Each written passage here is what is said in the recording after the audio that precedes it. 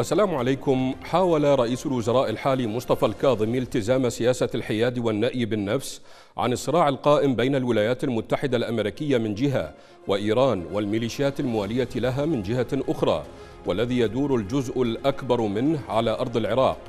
إلا أن ميل الكاظمي للحياد لم ينجح في ظل اتهامات متكررة يواجهها بالانحياز للجانب الأمريكي ترافقها ضغوطات من قبل سياسيين وفصائل ميليشياوية مسلحة للمضي قدما في ملف إخراج القوات الأمريكية من العراق.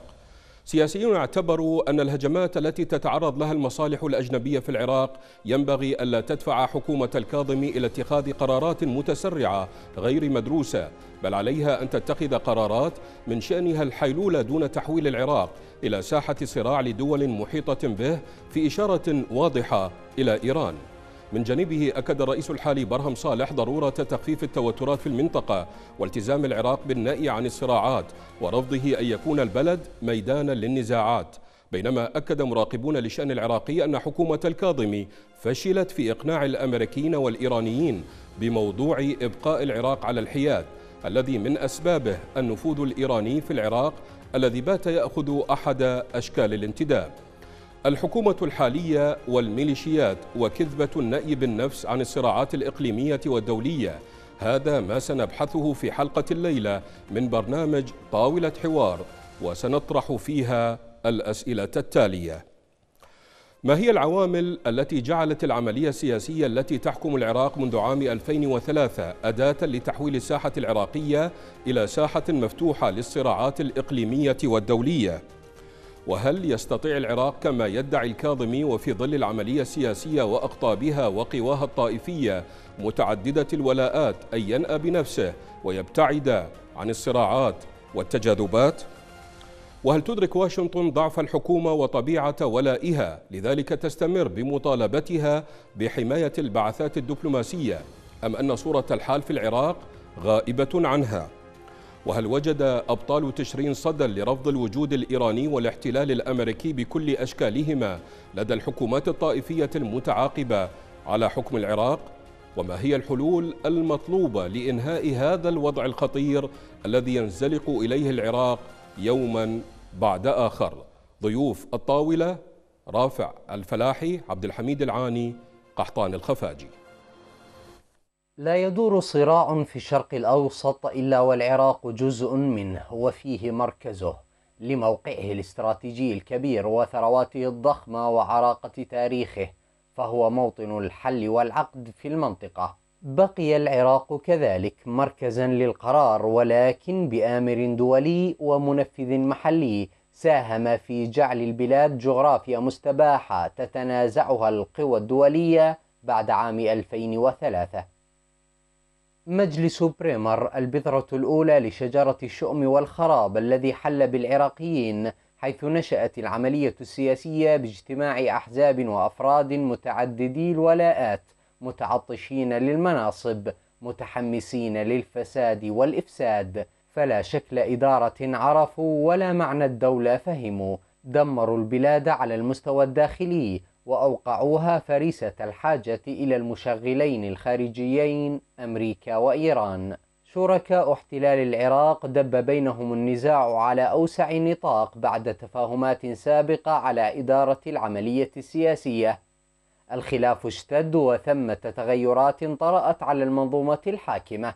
فبعد عام 2014 ظهرت الميليشيات لاعبا أساسيا وولدت أحزاب من عباءة الحزب الواحد الممثل بحزب الدعوة وعادت أمريكا لجر بساط المنظومة الحاكمة في بغداد لناحيتها بعد أن كادت إيران أن تتفرد بالجلوس عليه في عهد إدارة باراك أوباما. كل هذه المعطيات جعلت العراق في قلب أي عاصفة إقليمية وأقحمته في كل نزاع أمريكي إيراني. رغم حاجته الماسة إلى النأي بالنفس لمداواة جراحه بعد نكباته ومصائبه لكن تبعية العملية السياسية المزدوجة للخارج تجر الشعب العراقي إلى دوامة الصراعات وتضعه بين مطرقة حرب لا ناقة له فيها ولا جمل وسندان الفساد الداخلي وعليه فإن أي حلول من داخل الصندوق السياسي الحالي مصيرها الفشل وخيار النجاة الوحيد هو نظام سياسي جامع ينبثق من إرادة الشعب الذي مثلت له ثورة تشرين طوق النجاة. إذا المشاهدين الكرام نناقش في برنامج طاولة حوار الحكومة الحالية والميليشيات وكذبة النأي بالنفس عن الصراعات الإقليمية والدولية. نرحب بالدكتور رافع الفلاحي الكاتب والباحث السياسي عبر سكايب. أهلا بكم دكتور. وأيضا الدكتور عبد الحميد العاني الناطق الرسمي باسم هيئة علماء المسلمين في العراق عبر سكايب. أيضا أهلا بكم دكتور عبد الحميد. وسينضم إلينا عبر الهاتف الدكتور قحطاني الخفاجي أستاذ العلوم آه، السياسية. أبدأ معكم آه، دكتور رافع. آه، يعني بعد احتلال العراق عام 2003 آه، لا يجري الحديث عن صراع في المنطقة إلا وذكر العراق بكل تفاصيله. هل يعود ذلك إلى مركزه الجيوسياسي الذي صار رخوا بفعل الاحتلال وثرواته المباحة بفعل الفساد والفاسدين وأيضا تعاظم الأطماع؟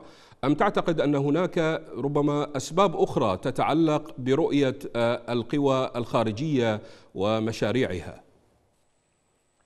بسم الله الرحمن الرحيم. احييك أستاذ محمد. واحيي ضيوف الكرام. اولا بداية ما أوردت من أسباب في سؤالك هي صحيحة ومنطقية وموجودة الحقيقة لكن أضيف عليها أن العراق منذ عام 2003 عندما تم احتلاله من قبل الولايات المتحدة الأمريكية وبالتعاون مع إيران وبالتخاذل مع إيران في البداية والتعاون معها آه، شكلت شكل النظام ما يسمى بالنظام في العراق ما يسمى بنظام الحكم في العراق أو السلطة في العراق وفقا لما آه، أقصده العملية السياسية. بكل قواها كل أحزابها كل شخوصها كل الميليشيات التي تدعمها شكلت وفق محاصصات مثل ما هو معروف طائفية وإثنية.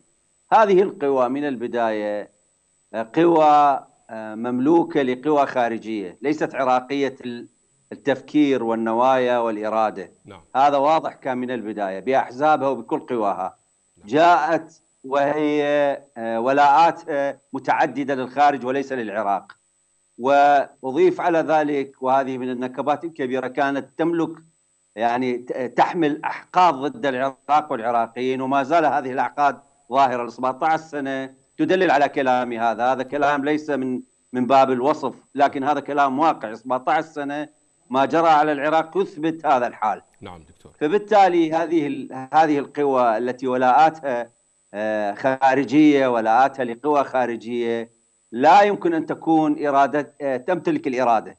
نعم. في كل حكومات في كل سلطة في الدنيا في كل دولة في الدنيا في كل حكومة بالدنيا تمتلك إرادتها وإرادتها نابعة من وطنها من من شعبها. هذه لا تمتلك هذه الإرادة. فبالتالي آه، استقلال غير موجود سيادة غير موجودة هم يتحدثون عن هذا يعترفون بهذا يقولون أن استقلالنا غير ناجز وسيادتنا غير غير موجودة. هم يقولون لحد الآن بعد 17 سنة.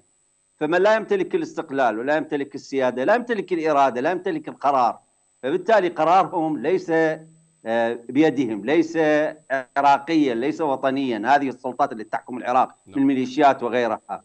فبالتالي العراق صار ساحة مستباحة لكل هذه القوى التي تحكمها وبالذات يعني المحتلين الأساسيين أمريكا وإيران اللي تعاونوا وتخادموا منذ الاحتلال الآن. ربما آه، آه، نشهد بينهما مناكفات نشهد بينهما تصعيد في آه، قد يصل إلى إلى ضربات معينة. هذا شيء آخر لكن حقيقة واقع الحال هم تخادموا وإيران خدمت الاحتلال ودفعت بهذه القوى لكي تعمل مع الاحتلال وتحت مظلة الاحتلال آه، تم بناء العملية السياسية وكتابة هذا الدستور وتبني هذا الدستور وليس كتابته نعم. لأن كتب في أمريكا نعم. لكن تبني هذا الدستور المسخ والمضي في هذه العملية والمضي في الفساد والمضي في إضعاف العراق ودفعه إلى الهاوية هذا هذا واقع الحال نعم. فبالتالي قرار العراق لم يكن آه، يعني مبنيا بإرادته الوطنية آه، سيؤدي بالنتيجة إلى أن العراق سيتحول إلى ساحة مفتوحة لكل هذه القوى لتفرض إراداتها عليه.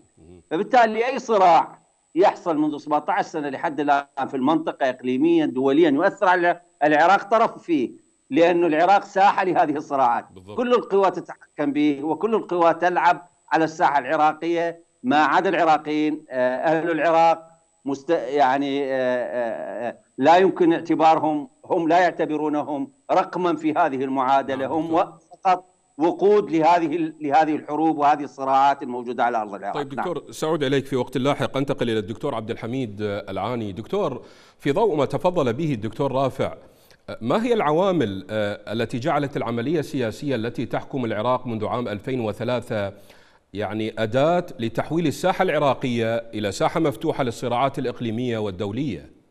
نعم بسم الله الرحمن الرحيم. تحية لجميع مشاهديكم وللأساتذة الضيوف.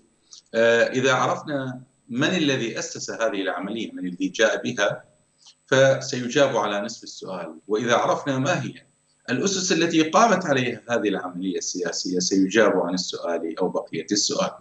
بالتأكيد الكل يعلم أن الذي فرض هذه العملية هو الاحتلال الأمريكي فهي نتاج وليد هذا المشروع مشروع الاحتلال. بل هي ربما نستطيع أن نقول بشكل أدق هي الواجهة السياسية هي الصفحة السياسية لهذا الاحتلال. والاحتلال حينما جاء إلى العراق وجاء بمشروع معلن وهو تدمير العراق. تدمير العراق من عدة جوانب سواء كان سياسيا واقتصاديا وحتى زعزعة استقراره ولحمته الاجتماعية. لذا هذا انعكس على من جاء به الاحتلال لفرضه على هذه أو تنصيبه كأداة لتنفيذ هذه العملية السياسية، هنا تلاقت مصالحه. هذا صاحب المشروع الأساسي أمريكا وشركائه طبعا إيران وغيرها كما ذكر الدكتور رافع قبل قليل. ومصالح الأدوات هذه الأدوات التي جاءت محملة بأحقاد وأطماع، أحقاد تاريخية وأطماع اقتصادية. و بنيت العملية السياسية على مبدأ أساسي وهي المحاصصة. لذا رأينا هذه الأدوات بناء على هذه المحاصصة تنشغل في مناكفاتها فيما بينها وفي صراعاتها على فسادها وتترك الساحة خالية أمام أصحاب المشروع الأساسي. أصحاب المشروع الأساسي ولأن هذه العملية السياسية هي جزء من مشروع احتلالي كبير فرغ العراق من قراره السياسي الوطني وأخليت الساحة من جيشه ابعد الجيش الوطني الحقيقي العراقي الذي يحمي هذه الساحة وانشغل العراق بصراعات داخلية وفتن وإثارة فتن وغير ذلك. فكان من الطبيعي أن يكون الشركاء الآخ الخارجيون أصحاب هذا المشروع الذين يسعون لتحقيق مصالحهم وربما مناكفاتهم أن يجدوا الساحة فارغة فلا يوجد أحد يمنعهم. لأي دور أو لأي صراع في العراق، لا هنالك حكومة وطنية، لا سيادة عراقية، لا جيش عراقي، لا قوى وطنية تستطيع أن يكون لها الكلمة لأن كل حرب فلذلك باتت الساحة فارغة لمثل هؤلاء وتمكن هذا هؤلاء في تنفيذ الصراعات. دكتور سعود إليك في وقت لاحق ولكن دعني أنتقل إلى دكتور قحطان الخفاجي، دكتور قحطان كل هذه المعطيات جعلت العراق في قلب أي عاصفة إقليمية وبالتالي يعني أقحمته في نزاع أمريكي إيراني، لكن هنا هل يستطيع العراق أن ينأى بنفسه ويبتعد عن كل هذه التجاذبات؟ حيا الله القناة وحيا الله حضرتك والأساتذة الحضور والجمهور الكريم. للأسف الشديد العراق بعد 2003 لم يعد يمتلك قراره درجة أولى. اثنين هو جزء بسيط تابع في مجمل التفاعلات الإقليمية والدولية. نعم. ومن هاتين الحقيقتين العراق غير قادر لا على أن يتخذ قرارا ينأى بنفسه عن الأحداث ولا قادر أن يكون يملك شيء من الفاعلية إن إن دفع في هذه التفاعلات، اذا في الحالتين العراق سيكون جزء من الكيفية التي يرغب الآخرون أن يسيروه ان يضعوه، بمعنى أن العراق غير قادر أن ينأى بنفسه وغير قادر أن يقدم شيئا ايجابيا فعليا ينفع العراق كعراق أو يكون دور إيجابي في المنطقة لأن الحقيقة كما هي واضحة وما كما كما تفضل الأستاذ من قبلك نعم. العراق خارج نطاق المقاييس المنطقية للدولة الفاعلة. طيب دكتور رافع يعني كما تعرفون الشعب العراقي منذ 17 سنة هو في موضع يقع إما في حروب خارجية وإما صراعات داخلية. لكن هنا إذا تحدثنا عن العلة عن السبب هل يعود السبب في ذلك إلى ضعف الشعب العراقي وفرقته وضياع الرؤية لديه أم لقوة وقدرة السلطات الحاكمة على العراق على أنه قد أجبر الشعب على هذا الحال؟ أولا نبدأ يعني من نهاية سؤالك أستاذ محمد وأجيب هذه السلطات التي تحكم العراق منذ عام 2003 لحد الآن هي أضعف بكثير مما يتوقع الكثير. ضعيفة إلى درجة وهي آه، مملوكة لقوى خارجية مثل ما تحدث الأساتذة ومثل ما هو معروف وهي من تحميها. لكن الشعب العراقي الحقيقة شعب صامد وشعب كبير وشعب عظيم وشعب مضحي. يعني لو عدنا إلى بدايات الاحتلال من عام 2003 والسنوات التي تلت من بعدها قاوم الشعب العراقي هذا الاحتلال نعم. بكل جبروته. قاوم الولايات المتحدة التي تملك أقوى جيش في العالم وأقوى تسليح وأقوى قدرات لوجستية وأقوى خدمات وأقوى اقتصاد. الدولة رقم واحد بالعالم ولا يعني منافس لها ومعها بريطانيا ودول كثيرة بالعالم. قاومها الشعب العراقي المقاومة العراقية قاومتها بأسلحة بسيطة وخفيفة. وكان الشعب العراقي خارج لتو من حصار لم يخرج.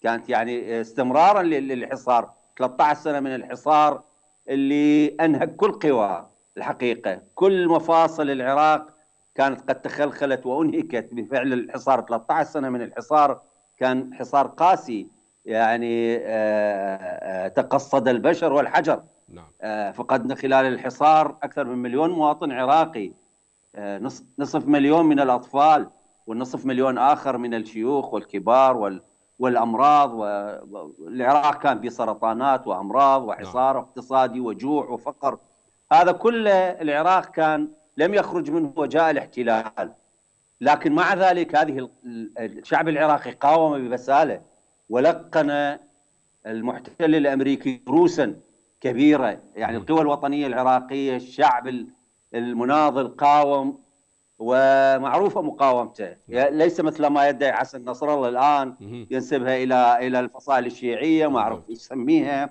فصائل الإيرانية الولائية. هذه كذبة كبيرة وتاريخ مزور ولا أحد يعني آه، يعتبر به ولا أحد يسمعه. نعم. لكن حقيقة الشعب الذي قاوم وقدم التضحيات في مدن معروفة هذا جزء من نضاله الشعب هذا قوي ولكن تعرض إلى ويلات كثيرة. هذه القوى تكالبت عليه طوال 17 سنة ميليشيات وقوى خارجية وقصف ودمرت مدنه وهجر أهله. آه، وصلنا إلى إلى فترة من الفترات عدد المهجرين داخل العراق 6 ملايين. نعم. المهجرين خارج العراق أكثر من 6 7 ملايين مواطن. الآن عددهم ربما يزيد عن 10 ملايين عراقي نعم. غادروا العراق. كفاءات تم استهدافها قتل ذبح هذا كله أضعف قدرات العراق إضافة إلى إشاعة الفكر الطائفي الميليشيات التي سيطرت على الساحة هذه كلها قيدت الشعب العراقي قيدت مع ذلك خرج بتظاهرات قوية آه، قام اعتصامات ووجوبها أيضا بالسلاح والنار واخرها ثورة تشرين.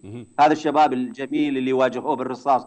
فلذلك لا يمكن أن نحمل الشعب العراقي مسؤولية ما حصل رغم أن البعض يلوم الشعب العراقي إنه ساكت على هذه الطغمة وعليه أن يوحد قواه وهذا مطلوب فعلا أن نعم. يوحد قواه بموجة كبيرة وينهي كل هذه المأساة لأنه لا أحد ينهي هذه المأساة إلا الشعب العراقي لكن هناك عوامل كثيرة هناك قوى إقليمية ودولية أدت إلى هذا الوضع، أدت إلى أن يكون العراق ساحة مفتوحة، ساحة ساحة مهيئة لصراعات ولأطماع هذه القوى الإقليمية والدولية وهذا ما مطلوب من مشروع الاحتلال، نعم مشروع دكتور. الاحتلال جاء هذه الأجندة الحقيقة، مم. نعم. دكتور عبد الحميد يعني نتحدث عن النأي بالنفس في حالة نشوب صراع في المنطقة يعني تكون إيران أحد أطرافه تعتقد أن الميليشيات الحاكمة في العراق ستكتفي بموقف المتفرج وبالتالي آه، تلتزم بطروحات النأي بالعراق عن أي صراع كما يدعي الكاظمي؟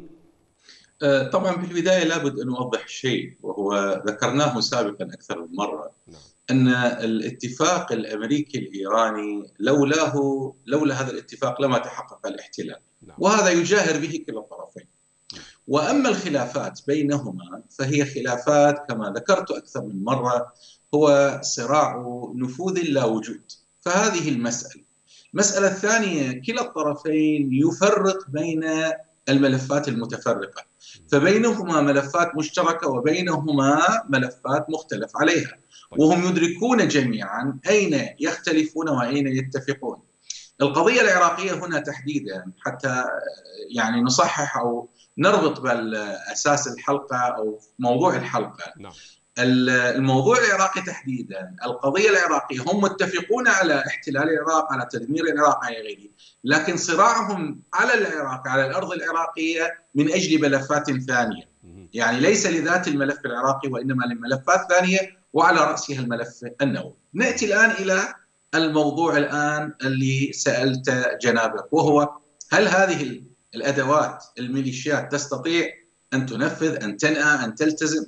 الواقع يقول غير ذلك وهذا ما يتبجح به القادة الإيرانيون بأن هذه الميليشيات هي تابعة له وأيضا هذا الأمر لا يستحي منه قادة هذه الميليشيات بأنهم يجاهرون بولائهم لإيران، وهذه الميليشيات التي تأسست ورعيت ولا تزال تأتمر بأوامر إيران نعم. هي مجرد أدوات لتنفيذ هذا المشروع الإيراني، كما إن إيران استخدمت الميليشيات الأخرى أو الأدوات الأخرى في اليمن وفي سوريا وفي لبنان. نعم. الإيرانيون لا يقاتلون بأنفسهم وإنما يستخدمون الشعوب الأخرى لتنفيذ مشروعهم. وهنا طيلة 2003 من 2003 إلى الآن كانت هذه الميليشيات في العراق هي المنفذ لهذا المشروع الإيراني ورأيناه ذلك في التهجير الطائفي في تغيير التركيبة السكانية في الصراعات أحيانا حتى في إقالة هذا يعني على مستوى إقالة هذا من منصبه وتنصيب فلان على مستوى مدير ناحية ومحافظ غير في الصراعات الداخلية أو المشاكسات الداخلية فضلا عن ما أشار له الدكتور رافع قبل قليل نعم. وهو أن هذه الأدوات هذه الميليشيات كان لها أكبر الأثر دور في تنفيذ طبعا طاعة لإيران في تنفيذ المشروع بشكل عام. هي لا ننسى هي دورها الكبير هذه الميليشيات في محاربة المقاومة العراقية في محاربة القوى الوطنية العراقية. اذا قضيه تنأى بالنفس لا تنأى هي ليست عراقية حتى نقول أنها تنأى أو لا تنأى. هي جزء من انحيازها لهذا الطرف الطرف الإيراني فهي نعم. أداة منفذة مؤتمرة بأوامره. دكتور قحطان آه، يعني مراقبون يقولون آه، أن موضوع ميل الكاظمي للحياد لم ينجح في ظل آه، اتهامات متكررة يواجهها بالانحياز للجانب الأمريكي ترافقها أيضا ضغوط من قبل سياسيين وفصائل ميليشياوية مسلحة للمضي قدما في ملف إخراج القوات الأمريكية من العراق. ما دقة هذا الطرح دكتور؟ آه، أخي العزيز مسألة الحياد أو الموقف الحيادي هذا قرار له مستلزمات يجب أن تتوفر حتى يمكن بمقدور الذي يتخذه أن يتخذه كما هو بالضبط حال القرار الذي يذهب باتجاه العمل واتجاه الفعل بأي حجم كان يحتاج مستلزمات وبالتالي كاظمي بطبيعة العملية السياسية القائمة هي صنيعة في الأساس صنيعة أمريكية باعتبار ان الاحتلال امريكي والعملية السياسية وضعها آه نوح فريدمان بشكل حقيقي والواجهة كان برايمر. بالوجه الآخر أن إيران استطاعت أن تحظى بفاعلية كبرى وبتأثير كبير عن طريق الفصائل المسلحة. وبالتالي هناك إرادتان هي التي تتصارعان في الشأن العراقي. إرادة أمريكية التي احتلت العراق والتي هيأت الأمور لما قامت إليه وإرادة إيران التي تذهب باتجاه زيادة فاعليتها في المنطقة. كاظمي عندما جاء للحكم هو لم يأتي من خارج هذه العملية فهو شخصية أمريكية في الأساس كحالة المعروفة. وأيضا كان جزء من العملية السياسية القائمة إذ كان آه، الشخص الأول في الموضوع الأمني في العراق والمخابرات. اذا هو صنيعة هذه التناقضات وبالتالي هذه التناقضات هي ليست لذاتها بقدر ما هي نتيجة إلى فعل أمريكا وإيران على حد سواء. وبالتالي أي ادعاء من كاظمي أو سواه من اطراف العملية السياسية بأن ينأى عن نفس بنفسه عن الأحداث هذه كذبة يكذبها على نفسه قبل غيره ومن يصدقها فهو كمن يصدق بشيء لا معقول. اذا لا أتوقع لي آه، هكذا دعوات إن الحياد يتخذه سبيلا الكاظمي لا نعم. أتوقع له أن يأخذ مجالا تطبيقيا حقيقيا ولعل الأسباب كثيرة أساسا هي أن الصراع بين القوتين أمريكا وإيران كما قلنا هي باتت لعبة صفرية وبالتالي لا يجوز أن يكون هناك عملية مساومة وموقف حيادي بل يجب أن يكون اما مع الطرف ألف أو مع الطرف باء. دكتور رافع سأناقش معكم موقف الحكومة الحالية في موضوع النأي بالنفس. نحن تحدثنا وتحدث الدكتور عبد الحميد العاني ويعني تكلمنا عن موقف الميليشيات والنأي بالنفس ولكن سأناقش معكم موقف الحكومة في مسألة النأي بالنفس. ولكن دعوني أذهب مشاهدينا الكرام ضيوفنا الكرام. سنذهب إلى فاصل قصير ومن ثم نعود إليكم.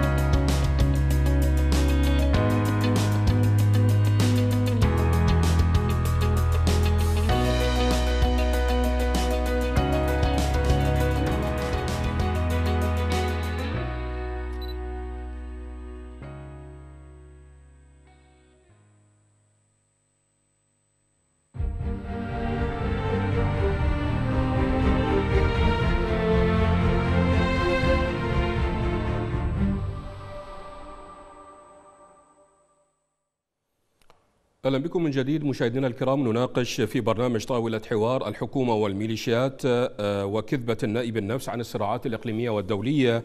وأجدد الترحيب بالدكتور رافع الفلاحي، الدكتور عبد الحميد العاني والدكتور قحطان الخفاجي، دكتور رافع هل يستطيع العراق فعليا كما يدعي الكاظمي وفي ظل العملية السياسية وأقطابها وقواها الطائفية المتعددة الولاءات أن ينأى بنفسه وبالتالي يبتعد عن آه، هذه الصراعات والتجاذبات؟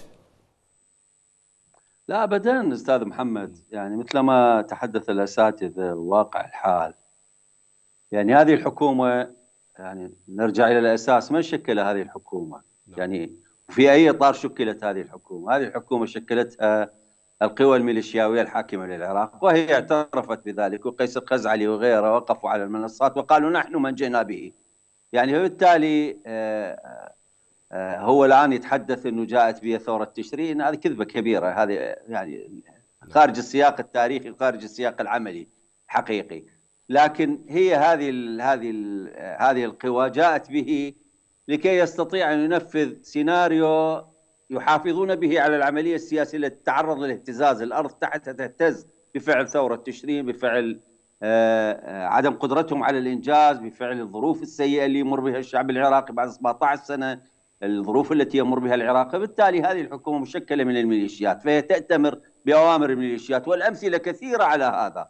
يعني كم مرة صرح الكاظمي بأنه لن يسمح لهذه الميليشيات ولن يسمح بالسلاح المنفلت وألقى القبض على 14 واحد من الميليشيات وبلحظة واحدة جاءوا بهم إلى دائرة مكافحة الإرهاب وإذا بالميليشيات تخرج وتدخل المنطقة الخضراء وتحاصر دائرة الإرهاب وتخرجهم. نعم. وتصورهم وهم يدوسون على صور القائد العام القوات المسلحة اللي هو مصطفى الكاظمي بالأقدام. هذه حقيقة. نعم. وبالتالي كذبة أنه سينأى بالعراق هو لا يمتلك القرار. هو لا يمتلك القرار. القرار بيد هذه الميليشيات. وهذه الميليشيات ولائية تابعة لإيران ومثل ما يعني قال دكتور أخي الدكتور عبد الحميد قبل قليل نعم. هي ليست عراقية لكي تنأى أو لا تنأى هي إيرانية الهوى يعني هي هؤلاء الذين يحكمون العراق لا يتحدثون بلسان أهل العراق ولا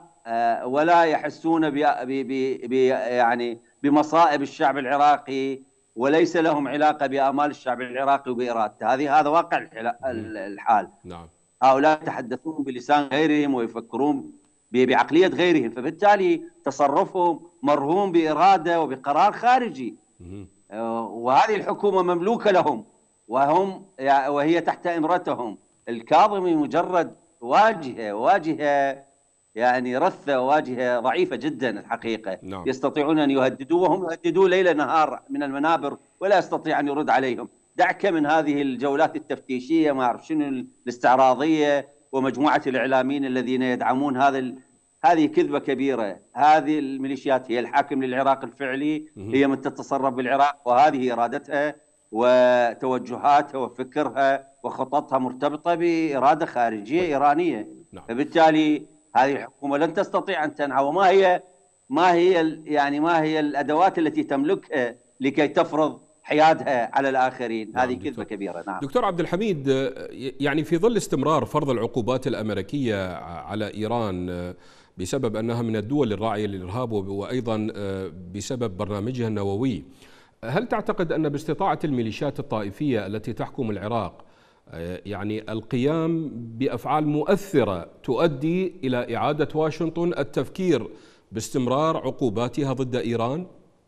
يعني ما يتعلق بالاستطاعه والتأثير على أمريكا اولا نقول أن هي هذه الميليشيات اولا هي تعرف حجمها الحقيقي نعم. والجميع يدرك ويفرق بين الجعجعات الإعلامية التي لا يراد منها إلا صناعة استعراض إعلامي وبين الواقع الحقيقي لهذه الميليشيات التي لا يتعدى دورها عن إطلاق بعض الصواريخ هنا وهناك التي نالت من آه، دماء الشعب العراقي المدنيين الأبرياء وإلى الآن لم نجد لهذا الجعج لهذه الجعجعة الإعلامية وهذه الصواريخ الكاتيوش التي يبالغ عليها أي تأثير على القرار الأمريكي هذا من جانب نعم. الجانب الآخر الناحية الاقتصادية العقوبات الاقتصادية الأمريكية وهذا يتعلق بما قلت قلته قبل قليل التعدد الملفات. نعم. أمريكا معاقبة لإيران في ملفات في ملفات عديدة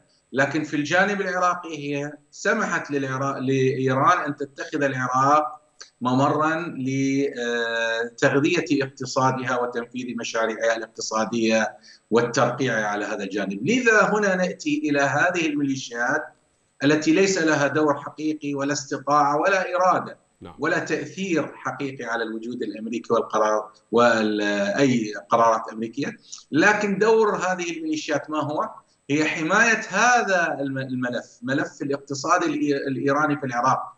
تقوم هذه الميليشيات بتنفيذ هذا الفساد، تنفيذ هذا الامتصاص للدماء لاموال العراقيين، آه، حماية الفاسدين، حماية الحكام السياسيين الفاسدين الذين يمررون هذه الصفقات الإيرانية والعقود الإيرانية والملايين من المليارات من العقود الوهمية وغيرها هذا هو دور الميليشيات نعم. الإيرانية نعم. التي قال عنها الدكتور قبل قليل آه، إيرانية الهوى نقول نعم. إيرانية الهوى والهوية نعم. طيب دكتور قحطان آه، حكومة الكاظمي يعني تدعي آه، أنها حريصة جدا على موضوع توفير الحماية للبعثات الدبلوماسية في العراق بشكل خاص طبعا السفارة الأمريكية في المنطقة الخضراء. ولكن عمليات الاستهداف وأيضا استهداف مواقع مهمة من قبل الميليشيات يعني نراها ما زالت مستمرة. هل أن واشنطن يعني لا تدرك فعليا ضعف الحكومة ولا تدرك طبيعة ولائها لذلك تستمر بمطالبتها بحماية البعثات الدبلوماسية. أم تعتقد أن يعني آه، صورة الحال في العراق آه، غائبة عن واشنطن؟ أظن السؤال لي لأنه آه، نعم دكتور السؤال لكم. السؤال بداية لم يكن لي واضحا إذا ممكن إعادة دون زحمة عليك. دكتور حكومة الكاظمي يعني تدعي أنها حريصة على توفير الحماية للبعثات الدبلوماسية خاصة يعني السفارة الأمريكية في المنطقة الخضراء. لكن عمليات الاستهداف وأيضا استهداف المواقع المهمة ما زالت مستمرة. هل أن واشنطن آه، لا تدرك فعليا آه، ضعف الحكومة وطبيعة ولائها؟ لذلك نلاحظ أنها تستمر بمطالبتها بحمايه البعثات الدبلوماسية أم تعتقد أن صورة الحال في العراق آه، غائبة تماما عن واشنطن؟ بالتأكيد أمريكا تدرك حقيقة الحكومة العراقية وقدراتها وتدرك حجم فاعلية الفصائل وعدم توقفها من استهداف السفارة الأمريكية أو أي هدف آخر آه، دولي في العراق. نعم. ولكن هكذا طلب بالتأكيد يأتي ضمن السياق العام البروتوكولي باعتبار أن حماية المنشآت الأجنبية في البلد ما يكون غالبا ما يكون على مسؤولية الدولة سيما خارج نطاق آه، الحيز المكاني حصرا للسفارة. هذا حالة، حالة أخرى أن ذلك يعد جزء من عملية فبركه لكي تعطي أمريكا كل المبررات وكل الحلول قبل أن تتخذ حلا معينا قد يدور في خلدها. فإذا ما بادرت إلى شيء ما نيابة عن الحكومة العراقية قد يقال لها لماذا لا تستدعي الحكومة العراقية للقيام بهذه المهمة؟ فعندما يتم استدعاء الحكومة العراقية بهكذا مهمة وهي تعرف ان لن تقوم بشيء من ذلك ستكون عندها في حل من أي فعل آخر يحمي ذاتها. واحد اثنين. آه، طلب من الجانب العراقي هو جزء من التحالف الدولي وبالتالي التحالف الدولي الآن قد يطلب من أحد أطرافه أن يقوم بعمل معين لاحتواء حالة خاطئة. ولكن عندما تتمادى تلك الحالة الخاطئة أمام قدرات الفرد أو خدمات الطرف المعين للتحالف الدولي قد يأتي التحالف الدولي بفعل ما بهذا الاتجاه. ولعل ما قام به بعض الاستهدافات لمواقع عسكرية وحتى إلى شخ... إلى أشخاص شخصي سليماني و مهندس كان ضمن ما يسمى بجهد دولي إلى حد معين لأنهما بحسابات المجتمع الدولي وحسابات أمريكا على وجه التحديد هم الطرف من أطراف حاله اللا آمن في المنطقة وحالة اللي هي اقرب للارهاب. إذا هذا الطلب هو منطقي يتوافق مع البروتوكولات، اثنين إنه تكتيكي إلى حد معين يمكن أن يوظف لاحقا بأي فعل أمريكي يكون أمريكا قد خطط له واحدث له عدته. طيب دكتور رافع آه، ميليشيا الحشد آه، تقول آه، إن أداء حكومة الكاظمي بشأن التوتر بين الفصائل الميليشياوية وبين الولايات المتحدة غير مرضي بالنسبة لهم ويطالبون بإخراج القوات الأمريكية بحسب تصويت البرلمان الحالي قبل عدة أشهر. لكن السؤال الجدلي الذي يطرح هو من الذي جاء مع الاحتلال وألبسهم لباس الشرعيه؟ اليسوا الميليشيات وقادتهم؟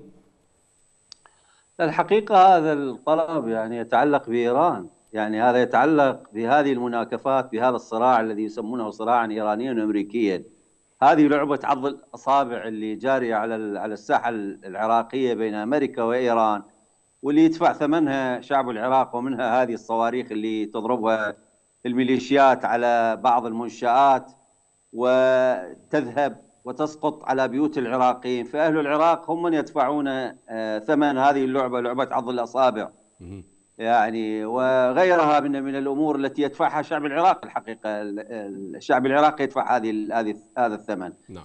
فبالتالي أريد ما أريد أن اقوله إنه هذه هذه الميليشيات لا تقول هذا الكلام من عندها.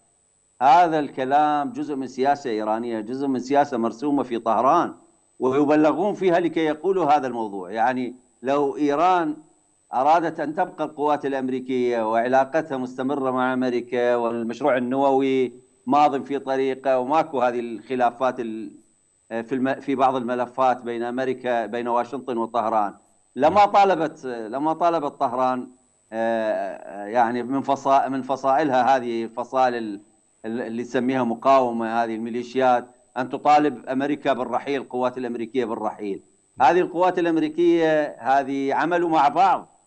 نعم. كانت هي هي التي تحمي اجواهم عندما يتحركون وعملوا مع بعض. في مدن كثيرة ودمروا واخرها الموصل نعم بالضبط. دمروا الموصل وكان التعاون واضح جدا جدا. الميليشيات القوى الأمريكية الطائرات الأمريكية والخدمات نعم. اللوجستية كلها قدمتها أمريكا والخطط قدمتها أمريكا. نعم. والميليشيات كانت على الأرض. هذه وهذا واقع الحال. وكانوا يستنجدون بها عندما يضيق بهم الحال. وكان هذا المهندس يقول آه، يعني الذي قتل يقول عندما كانت تتوقف عندنا في منطقة معينة يعني نتصل بالأصدقاء يقصد الأمريكان. نعم. يتصلون بهم لكي يعالجوا هذه الأهداف. بالتالي هناك خدمات تخاذل كبير. المشروع واحد الهدف واحد. آه، تلتقي إيران وتلتقي أمريكا في هدف واحد بالعراق وأضعاف العراق. هذا الهدف واضح تماما في طهران وفي واشنطن. أن العراق يجب أن يكون ضعيفا لذلك التقت أهدافهم.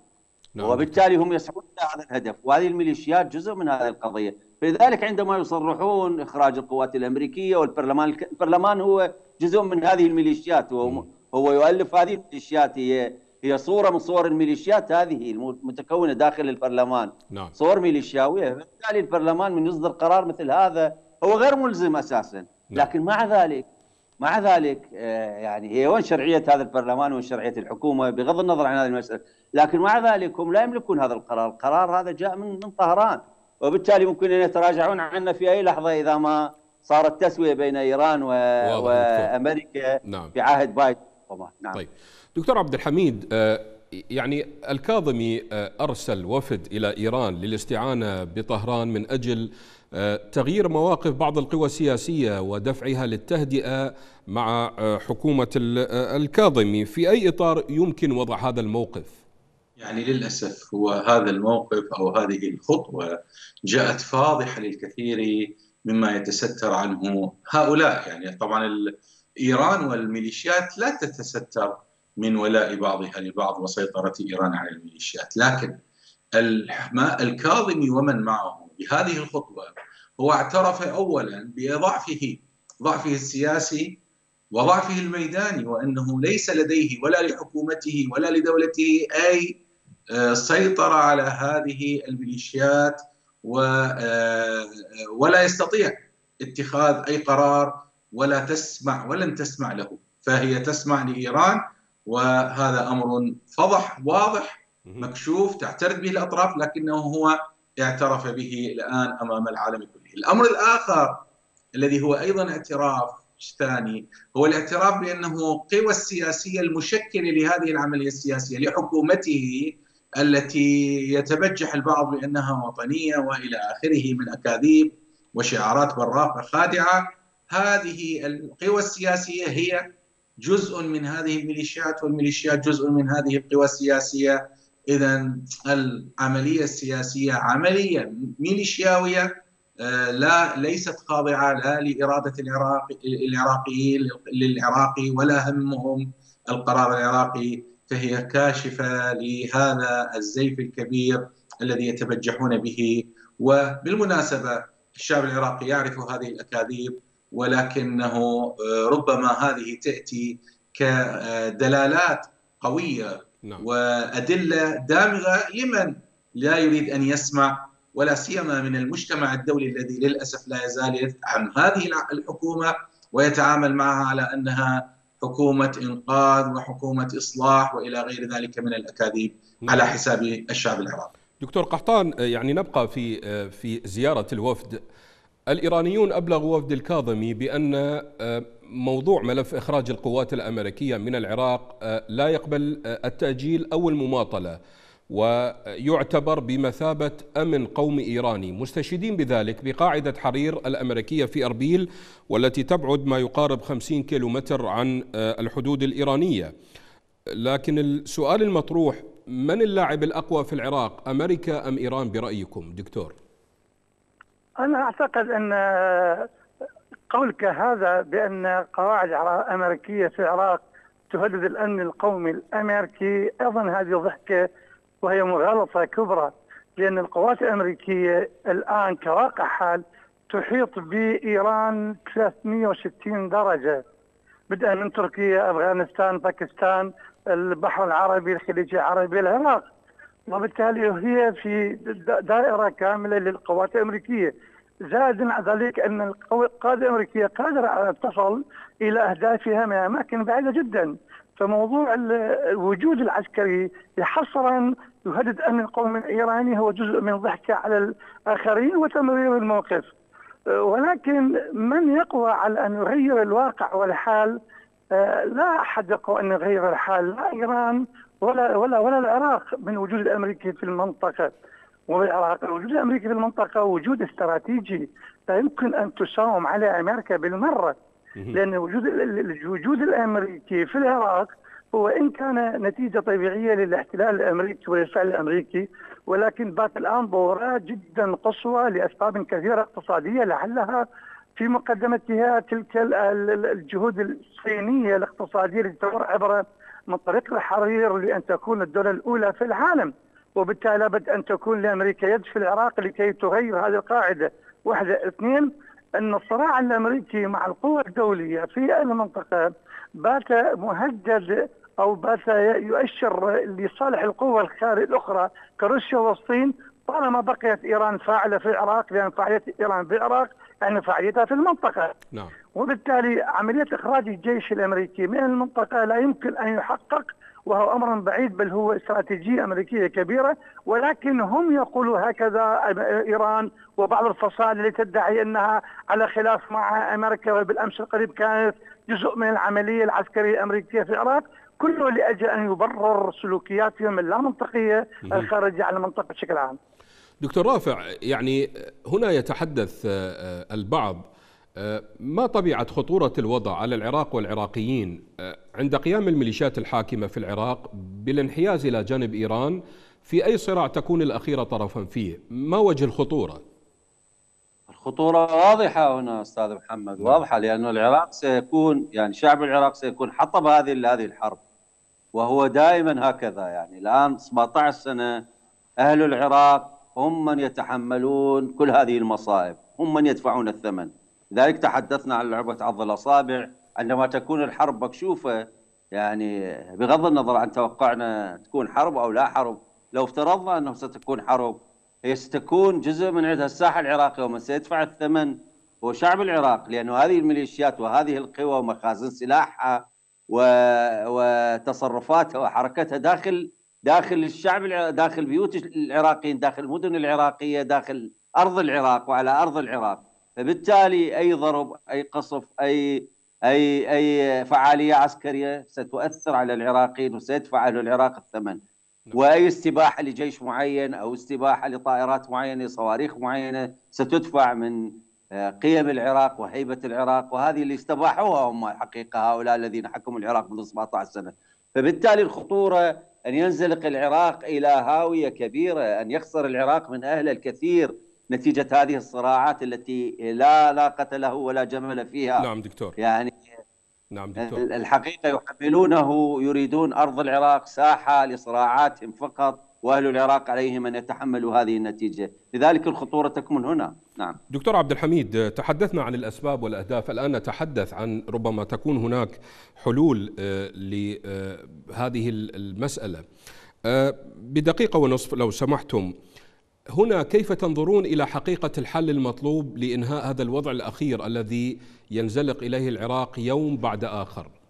الحل ما ذكرناه في هيئة علماء المسلمين والعديد من القوى الوطنية العراقية منذ بداية الاحتلال إلى الآن.